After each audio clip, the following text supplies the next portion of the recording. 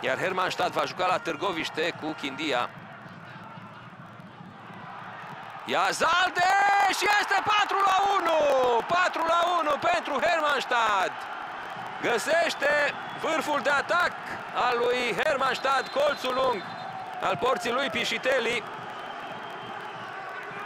Al doilea gol reușit de Iazalde în această seară. Dinamo surclasată de echipa lui Eugen Neagoie. Al treilea gol în acest uh, sezon pentru vârful de atac al uh, Sibiului.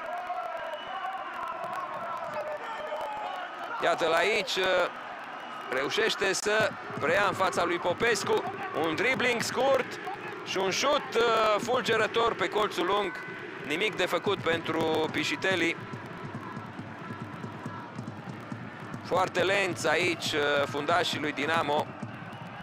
Atât uh, Popescu cât și Pulici s-au mișcat uh, greu.